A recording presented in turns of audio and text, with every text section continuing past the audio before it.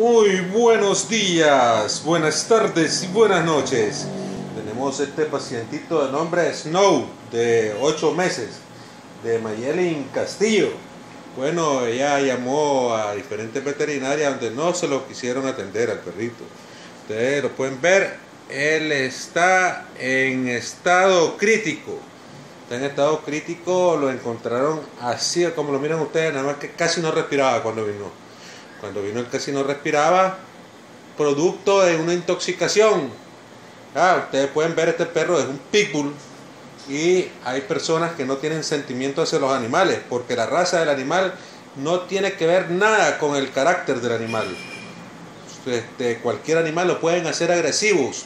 No quiere decir que el pitbull sea agresivo y no es agresivo el pitbull. Ah, se lo digo por experiencia propia, toda la vida he tenido pitbull y no son agresivos las personas deforman el carácter de los animales. Pero bueno, seguimos hablando del perrito este aquí.